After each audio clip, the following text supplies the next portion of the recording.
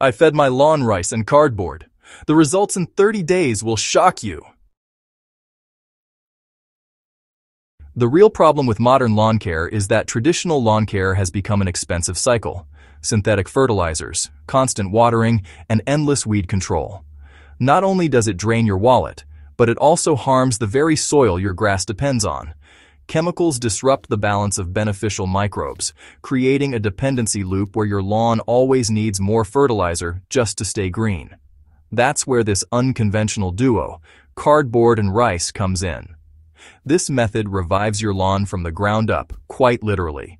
It feeds the soil, not just the grass, creating a thriving underground ecosystem that naturally supports long-term growth and resilience. Step 1. The Cardboard Foundation. Start with your base layer. Plain, untreated cardboard. No glossy prints, no tape, no plastic coatings. Lay it directly over your lawn or soil surface, overlapping the edges by at least 2 inches. Think of it as a breathable blanket for your yard. Cardboard plays two critical roles. First, it blocks sunlight from reaching weeds, smothering them naturally without herbicides. Second, as it slowly decomposes, it becomes a rich carbon source, improving soil structure and water retention.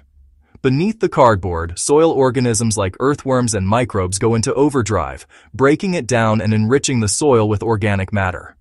Water the cardboard thoroughly after laying it down, around one gallon of water per square yard, so it starts softening and bonding with the soil below. This helps lock in moisture and encourages immediate microbial activity. Step 2. Feeding the soil with rice.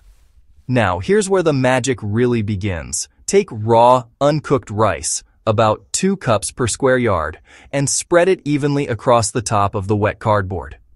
You don't need anything fancy. Plain white or brown rice works perfectly. Why rice? Because it's packed with starches, trace minerals, and organic compounds that soil microbes absolutely love. As it breaks down, rice becomes a slow-release nutrient source, feeding beneficial bacteria and fungi that naturally improve nitrogen levels and soil fertility. Lightly mist the rice with half a gallon of water per square yard to start the decomposition process. Within days, microbial activity will increase dramatically beneath the surface. You're essentially creating a living compost layer, one that works invisibly while you go about your day. Step 3 is the protective top layer. Once the rice is in place, go ahead and cover it with a thin layer of topsoil, compost, or even grass clippings, about half an inch thick. This step, you know, really helps conceal the materials, keeps pests away, and maintains consistent moisture. From the surface, your lawn looks completely normal, but underneath, the transformation has already begun. The 30-day transformation. Now, Let's talk results. In the first week, you'll notice fewer weeds emerging and your soil staying damp longer between waterings. By the second week, microbial activity spikes. If you were to take a closer look, you'd see richer, darker soil and even more earthworm tunnels forming beneath the surface.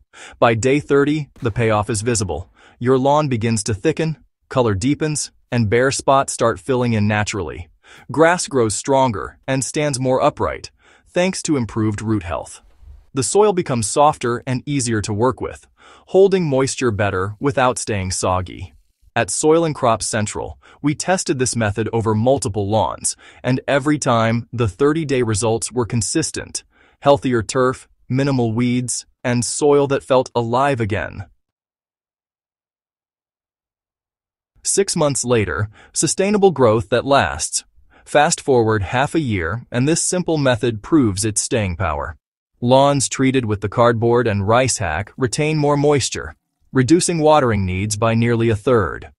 The cardboard's gradual decomposition continues to feed the soil, while the microbial population stabilizes into a self-sustaining ecosystem.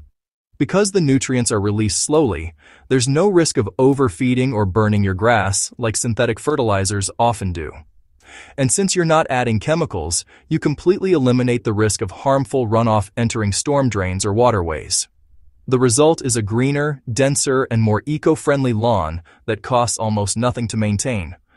This approach is more than just a temporary hack. It's a shift toward regenerative lawn care.